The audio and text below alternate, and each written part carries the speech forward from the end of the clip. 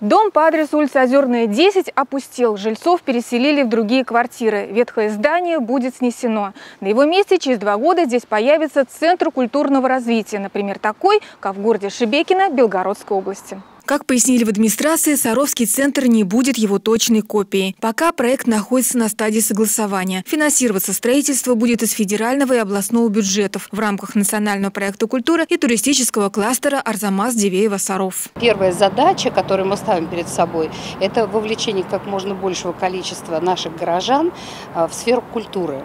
Причем э, вовлечение путем создания новой инфраструктуры, более современной, чем та, которую мы имеем сегодня. Территория для строительства выбрана не случайно. 21 микрорайон быстро растет, но инфраструктура развита слабо и поблизости нет учреждения дополнительного образования. И, естественно, территория без социальной структуры э, не может никак существовать. Поэтому, мне кажется, появление там именно а, культурно-досугового учреждения, ну, это, наверное, очень хорошая такая история. Центр культурного развития совместит в себе несколько функций направлений досугового и образовательного характера. Проектом предусмотрены выставочные хореографические залы, творческие мастерские и современные формы работ библиотеки «Модельная». То есть это не библиотека в чистом виде, которая она всегда была.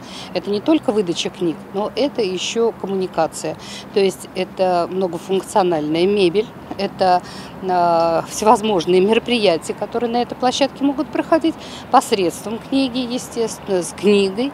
Вот. Но это, естественно, служит для одного, чтобы люди могли и пообщаться, и поговорить, и, естественно, получить э, какое-то знания. Предполагается, что новое здание будет двухэтажным, площадью полторы тысячи квадратных метров. В администрации заверили, что к концу 2021 года Центр культурного развития примет своих первых посетителей. Елена Грицкова, Владимир Лисик, Александр Мальков, Служба новостей САРО 24.